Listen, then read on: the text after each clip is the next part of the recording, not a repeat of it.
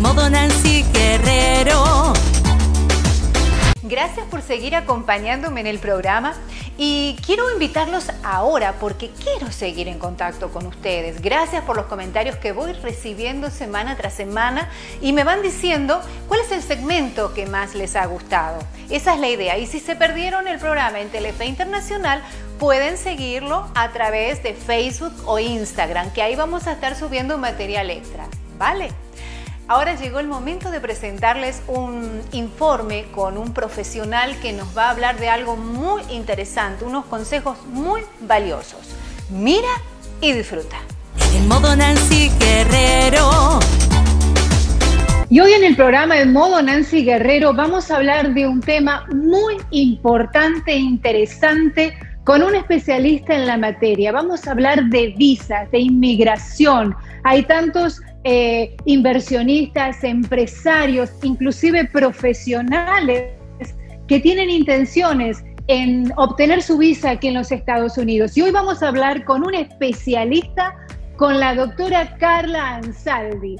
Doctora Ansaldi, gracias por estar en modo Nancy Guerrero, gracias por hablar de este tema tan importante de inmigración.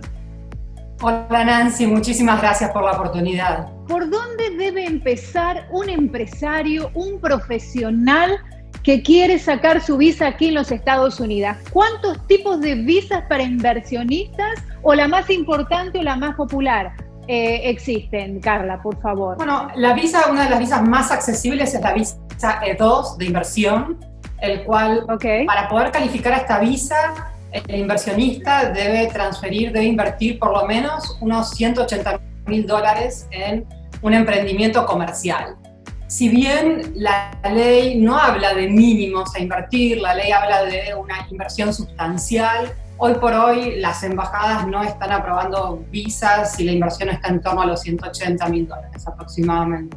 Pero para comenzar esa, esa inversión, ese camino para iniciar la visa, la persona debe tener primeramente qué? Tiene que armar una corporación, tiene que abrir una cuenta bancaria. ¿Por dónde empieza? Vamos al punto número uno, doctora.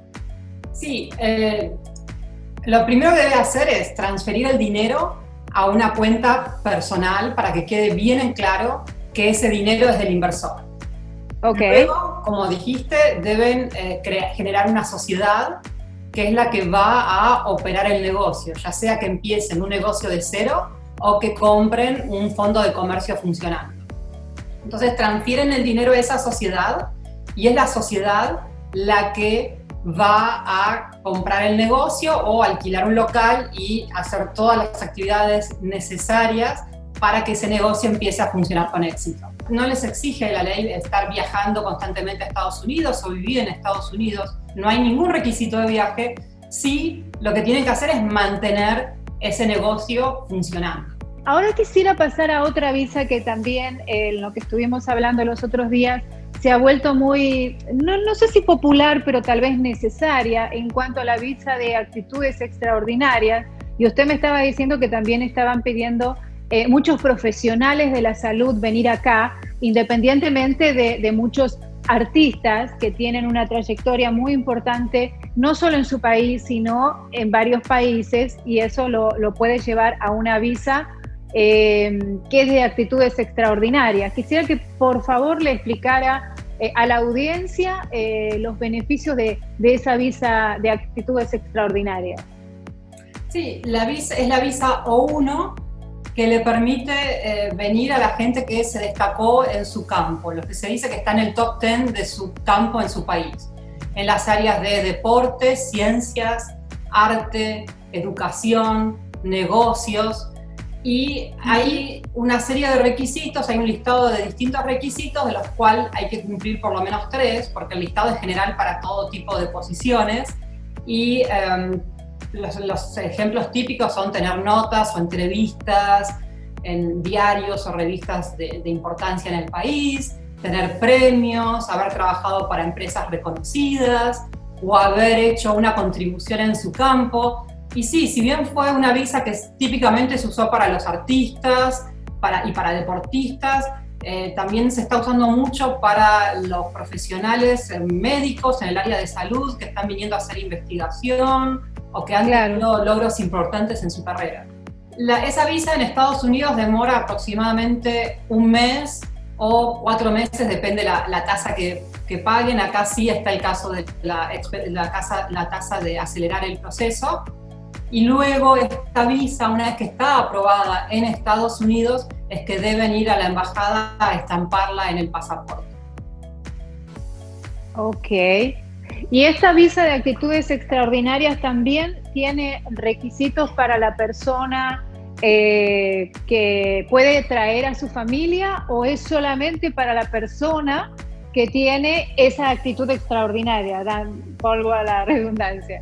Sí, no, esta visa también incluye a, la familia, al cónyuge e hijos hasta los 21 años con los mismos beneficios.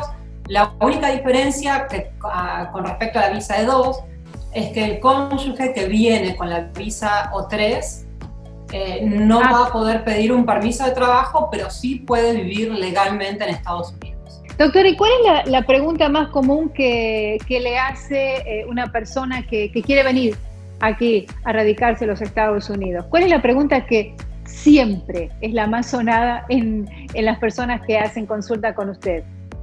las preguntas que más hacen son un poco las que, las que dijiste, Nancy tiempos, requisitos mínimos y cómo paso a la green card, porque la gran mayoría viene con, hijos y es un, una, hay que programar, es muy importante cuando se muda un grupo familiar que tienen chicos, ya poder de entrada diagramar cómo es que van a conseguir la residencia antes de que esos chicos cumplan 21 años y se queden fuera del grupo familiar, porque si esa familia consigue la residencia antes de que los menores cumplan 21 años, ahí ya los chicos mantienen la residencia, no la pierden al cumplir 21.